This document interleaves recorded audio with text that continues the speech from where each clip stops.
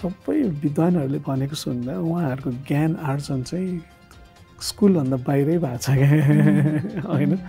पिपलको बोट मुनि त्यसपछि ऋषि मुनिहरूको पनि पाहाडको यस्तो यस्तो ठाउँमा। On top of that Gurukul भनेर जुन गरिले पनि एकदमै नेचरसँग एकदमै क्लोज होइन? त्यो कुनै फर्मल स्ट्रक्चर भन्दा पनि इन्फर्मल स्ट्रक्चरमा त्यही मेन्टरसिप गुरु र शिष्यको मेन्टरसिप यो एलिमेन्ट्स चाहिँ हामी कहाँ अलरेडी थियो।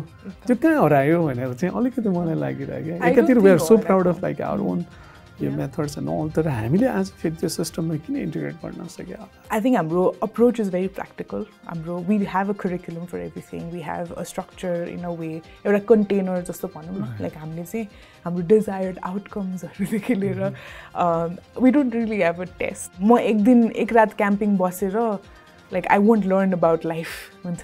It happens as you go eventually. So I think one of the biggest learnings, especially working with women,